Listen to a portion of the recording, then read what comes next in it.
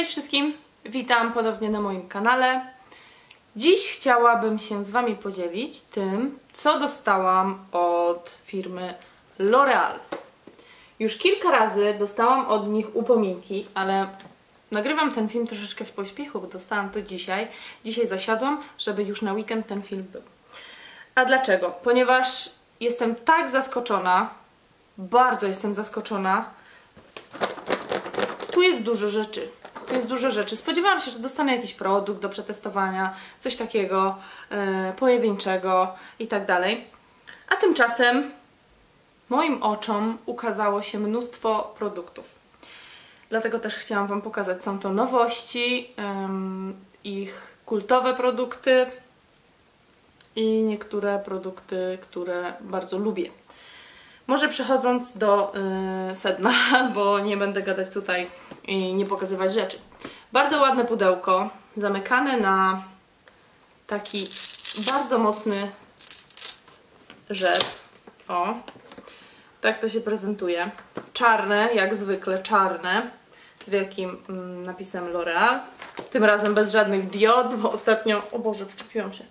Yy, bo ostatnio też jak dostałam, nie pamiętam co, coś rozświetlającego chyba, tamten produkt do rozświetlania, to y, jak się otwierało pudełko, to tutaj takie y, LEDowe mm, światełka były.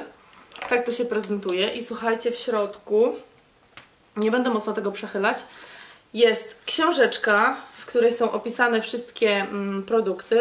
Jest tutaj L'Oréal Paris, odkryj nowości i bestsellery od L'Oréal Paris. No i tutaj jest opisany każdy produkt, który jest w pudełeczku. Tak. O. Jest taka książeczka, później sobie dokładnie pewnie to przestudiuję i przeczytam. No i mamy trzy mm, jakby segmenty. I tak. Tutaj twarz. Tutaj, nie wiem czy to widać, oczy. I tutaj usta. Jeden z tych produktów do ust mam teraz na ustach, ale może po kolei. Także mniej więcej pokazałam Wam, jak to wygląda. Zacnie, prawda? Strasznie się cieszę, jaram się. I tak, w tej największej przegródce mamy mm, Infallible Total Cover i tu mamy y, takie beżowe trio, gdzie są trzy kolory takie mm, brązowe, brązowe, beżowe, odcień fioletowy i odcień zielony. Są to yy, pełni kryjące, długotrwałe korektory. Tak, nic tu więcej nie ma. Yy, wyjaśnione jest każdy kolor, do czego służy, także jestem ciekawa. Wszystko jest tutaj zabezpieczone, żeby yy, mieć pewność, że jest, było zamknięte i nikt tego nie macał. Następnie puder, którego nie miałam, Infallible 24 Hours Matte Powder. To jest yy, ten już taki dość znany puder, więc nazwali go bestsellerem. Puder w kolorze, wydaje mi się, że raczej na lato będzie niż na teraz. 160 Sand Beige. Taki puder. Nie otwieram na razie tego, no bo, bo nie muszę, ale chcę Wam pokazać. To mi się wydaje, że to jest też nowość. To jest y, Blush Sculpt Trio Contouring Blush. Potrójny ym, róż. Takie bardzo rozświetlające. Mam wrażenie, że to jest rozświetlacz i y, dwa takie róże. Nie wiem jak to wygląda w kamerze, w aparacie. To jest y, zestaw 102 Nude Beige. Nie będę na razie też tego otwierać, ale całkiem ładnie to wygląda. Takie dość płaskie opakowanie w porównaniu do tych pudrów, bo tutaj pewnie w pudrze jeszcze jest pędzelek albo gąbeczka i lusterko, tak mi się wydaje. Dobra. I ostatni produkt, który tutaj jest, to jest podkład Infallible Matte. To jest ten matujący, matująca wersja tego w szklanej buteleczce z pompką, który miałam i który lubiłam.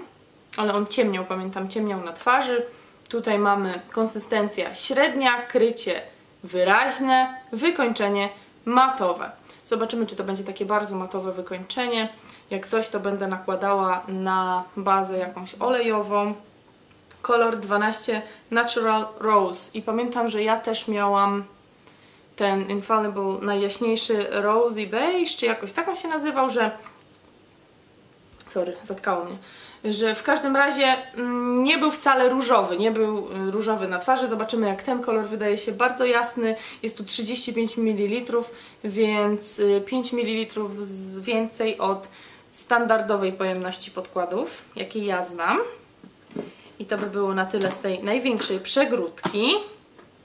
Dajcie znać, czy chcecie test taki na kanale yy, na żywo tego, bo test, który nagrałam i który się ukaże nowości różnych ma ponad 30 minut, chyba 37 minut, więc nie wiem kto to wytrzyma, ale no wrzucę, no wrzucę na kanał, no bo co. Kolejna przegródka oczy. Po pierwsze jest to tusz Foslash Superstar X Fiber. Taki dwustronny, z jednej strony z tego co pamiętam yy, jest tutaj czarny, szczotka taka tradycyjna, ale cienka, wąska. I dwa what the hell? Tutaj jest taka strona z takimi yy, jakby włoskami. Aha, bo tak, no tak fiber, czyli z takimi włóknami. Kształt szczotki, który lubię, bo się ładnie dopasowuje. No jestem bardzo ciekawa tego tuszu. Nie miałam tych podwójnych z L'Oreala, wiem, że jeszcze był taki ze stroną białą i czarną, a tutaj mamy stronę normalną i włochatą. Zobaczymy jak się to um, sprawdzi, czy tutaj coś więcej jest napisane na temat tego tuszu. Moi mili, dwufazowy tusz do rzęs, gwiazdorski efekt sztucznych rzęs, super objętość, super wydłużenie, super podkręcenie, czarna baza dla super objętości i widocznego pogrubienia rzęs. 20 razy więcej włókien Zobaczymy. Jestem ciekawa. I tutaj mamy produkt e, Brow Artist Maker. Mm, pudrowe wykończenie. Może ja przeczytam z tej książeczki. Tu są dwa kolory. I jakie to są kolory, powiem Wam. 04 Dark Brunette i 02 Cool Brunette. Ten jest taki o wiele, o wiele jaśniejszy. Z jednej strony w ogóle widzę, że tutaj jest taki pędzelek okrągły, a z drugiej strony jest taka gruba kredka. Jak tego używać? Nie wiem, ale się dowiem z pewnością. Brow Artist Maker. Kredka do brwi y, z pędzlem Kabuki. Produkt stworzony z myślą o kobietach, które chcą uwodzić naturalnym pięknem. Dzięki innowacyjnej formule produkt wygląda bardzo naturalnie, dając pudrowe wykończenia, a tym samym nieprzeciętny wygląd. Szczoteczka pozwala regulować i wypełniać rzadkie brwi. Szczoteczka. Gdzie tutaj jest szczoteczka? Hello. Ten produkt się y, wyczesuje. Będę musiała to rozkminić, bo to jest jakaś y, wyższa szkoła wtajemniczenia jest potrzebna. Tak sądzę. Także to są dwa mm, produkty do brwi. I tutaj mam jeszcze, jeszcze produkt do brwi. Y, Brow Artist Genius Kit. O Boże. Genius. Teraz ja muszę być jeszcze genius, żeby mm, to w ogóle obsługiwać. I tutaj mam też dwa kolory. Mm, jaki tu jest kolor? Medium dark, light to medium. Medium to dark, light to medium. Bardzo ładne opakowanie. Chyba otworzę te medium, medium to, light to medium. Otworzę z tego zabezpieczenia żeby zobaczyć po prostu jak to w środku mm, wygląda. Ok. Bo tu poza pomadką to niczego nie otworzyłam. Uuu, jakie fajne y, otwarcie. Tu jest taki wichajsterek jakby. Myślałam, że tak standardowo do góry. A tutaj pyknę sobie to i to odskakuje samo. Bardzo zmyślnie. Uuu, słuchajcie. W środku jest wosk.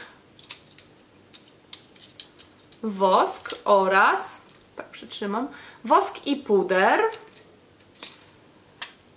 I rzeczywiście kolor jest przyjemny. Ten wosk ma prawie identyczny kolor jak puder. Jeszcze nie miałam takiego produktu yy, z woskiem, żeby te brwi utrzymać. Zwykle używałam jakiegoś żelu do brwi. I mamy taką mini, mini szczoteczkę. Naprawdę mini, mini. Moje paluchy nie są w stanie tego wyciągnąć.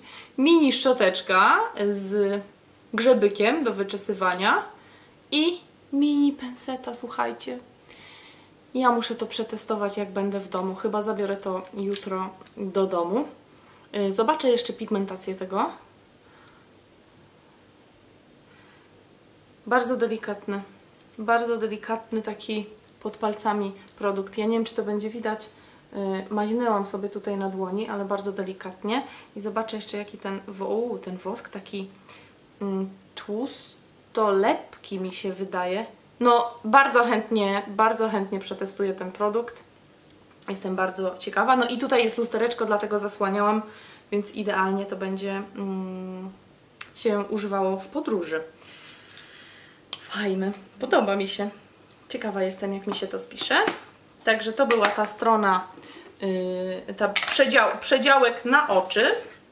I ostatnia tutaj przegródka, czyli przegródka z produktami do ust. Są to te nowe pomadki matowe, które mają przecudne opakowania. Opakowanie, nie wiem czy to będzie widać z bliska, słuchajcie. Yy, tutaj, tutaj weź się sfokusuj. Nie chcę się chyba sfokusować. Opakowanie wydaje się jakby było skórzane. Taka faktura skóry, oczywiście tutaj yy, logo L'Oreal, L'Oreal i kolory jakie mam, bo dostałam aż cztery, aż cztery te pomadki. Mm, to są tak. 103 Blush in a Rush, taki różowy, delikatny kolor. 347 nie wiem jak to przeczytać, ale jakiś odcień różu, chociaż pewnie na ustach wydaje się dość czerwony, nawet w lusterku wydaje się dość czerwony. To jest y, kolor, który mm, mam na, teraz na ustach. No, proszę Cię. Nie chcę się sfokusować. No trudno, po prostu będę czytała numerki. 3, 4, 7 to jest ten, który mam na ustach. Bardzo nawilżająca formuła jest o wiele lżejsza niż pomadka z Golden Rose ym, Crayon. Czy jak to mówię, to naprawdę czuję jakbym nic nie miała. Dosłownie jakbym nic nie miała na ustach. Wykończenie jest matowe jest właśnie taka e, lekka, bo krajon nie jest taką lekką pomadką, że w ogóle nie czujemy, że mamy coś na ustach. A ta jest bardzo lekka, nie jest zastygająca, ma matowe wykończenie, ale cały czas yy, mogę ją tak jakby rozsmarować na ustach. Na zębach na razie mi się nic nie odbiło. Na razie pierwsze wrażenie. Musiałam się po prostu pomalować, bo już nie mogłam wytrzymać. Chciałam zobaczyć chociaż jeden kolor. Bardzo mocna pigmentacja i bardzo masełkowate w konsystencji. Będę testować, wezmę ze dwa kolory do domu. Także 347, który mam na ustach. 241 Pink Apporter czyli z założenia to ma być jakiś róż. 241 i ostatni kolor to jest 349 Paris Cherry paryska mm, wiśnia. I rzeczywiście jest to bardzo ciemny kolor. Przynajmniej taki się tutaj wydaje. Może otworzę i zasłoczuję ten kolor. Mam taką ochotę naprawdę opakowania są piękne przed chwileczką dosłownie widziałam reklamę tych pomadek mm, w telewizji tak wyglądają i słuchajcie, no piękny, piękny kolor. Taki rzeczywiście taka głęboka wiśnia. Chłodny, dość chłodny odcień. Mam wrażenie, w porównaniu z tym, który mam na ustach. Także to są cztery odcienie tych matowych pomadek. Czy tutaj coś więcej na temat tych pomadek piszą? Już powiem. Matowe pomadki. Szminka o matowym wykończeniu z dodatkiem olejku kamelia i żożoba pozwala na kompleksową pielęgnację ust oraz osiągnięcie efektu gładkich i odpowiednio nawilżonych ust. Tu bym się zgodziła, bo to nawilżenie rzeczywiście jest bardzo mm, wyraźnie czuć. Gama y, składa się z 12 odcieni, od stonowanych beży po intensywne czerwienie. I ostatni produkt, już słuchajcie tutaj z tego mojego magicznego pudełeczka. W ogóle te pudełko sobie zatrzymam, będzie idealne do przechowywania z takim rzepem i prze, przegródki ma, więc ja myślę, że jakieś tutaj zastosowanie znajdę. To jest um, Color Rich La Palette Matte. To jest tutaj taki sam motyw jakby skórzany. To jest paleta pomadek. Paleta pomadek, zestaw Bold, i tutaj mam, jakie są w niej odcienie. Zaraz szybciutko znajdę w mojej ściągawce, co tutaj więcej piszą na ten temat. Yy, paleta pięciu intensywnych matowych odcieni plus baza. Aha, czyli ten najjaśniejszy kolor tutaj, od tej strony, to jest baza.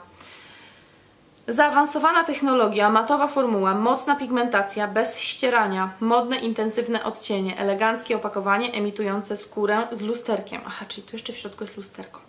Wysokiej jakości pędzelek do ust. Słuchajcie, otworzę to, żeby zobaczyć też. Yy, ja dlatego chciałam nagrać ten film, bo mam ochotę to wszystko otworzyć i po prostu zacząć testować. Dlatego wolałam najpierw pokazać, yy, że tak powiem, na żywo, nie wiedząc też czego się spodziewać, niż później pokazywać Wam te produkty już takie yy, użyte i wyciapane. Wielkie, ogromne lusterko tutaj, po całości jest lusterko. Teraz obrócę to. Jeżeli to jest nieścierające, nieścierające się, to mi się wydaje, że to będą bardziej zastygające pomadki. Takie odcienie. Myślę, że wszystkie trafione. Jestem ciekawa tego pomarańczowego, nigdy takiego koloru na ustach nie miałam. Będzie można je dowolnie mieszać, a ta baza, y, mam nadzieję, że będzie tak um, troszeczkę pielęgnowała usta. Także jestem bardzo ciekawa też tego produktu. Y, chyba nawet nie wiem, czy widziałam je już w szafach L'Oreal, ale to jest bardzo stylowe opakowanko takie gustowne. Muszę przyznać, właśnie te pomadki i, i to, te opakowania mnie najbardziej urzekły, to wygląda tak bardzo elegancko i wygląda w moim mniemaniu, w moim odczuciu na taki drogi produkt. Także jestem bardzo, bardzo zadowolona. Dziękuję bardzo za taki prezent. Naprawdę się nie spodziewałam, że dostanę aż tyle produktów i będę z wielką przyjemnością wszystkie testować już od jutra, już od dzisiaj. Od razu nałożyłam na usta. Także w pośpiechu nagrany film, ale naprawdę chciałam Wam pokazać te dary losu. Nie lubię tego określenia, dary losu. Tak mi się kojarzy, nie wiem, pomoc dla powodzian i coś w ten deseń. No, jestem zachwycona pomadką. Ciekawe, jak będzie się utrzymywać jutro. Chyba pomaluję się do pracy tym jaśniejszym, różowym odcieniem. Także L'Oreal spisał się na medal.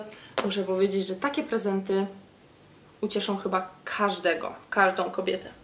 Będę testować z przyjemnością. Dajcie znać, co sądzicie. Czy yy, lubicie produkty L'Oreal, bo ja lubię bardzo, bardzo. Wiem, że to są, jest dość kontrowersyjna yy, marka z wielu względów, ale na pewno wszystko przetestuję i dam Wam znać, co sądzę na temat każdego z tych produktów. To by było na tyle. Dobrej nocy życzę, bo z pewnością jest wieczór i trzymajcie się i widzimy się w następnym filmie. Hej!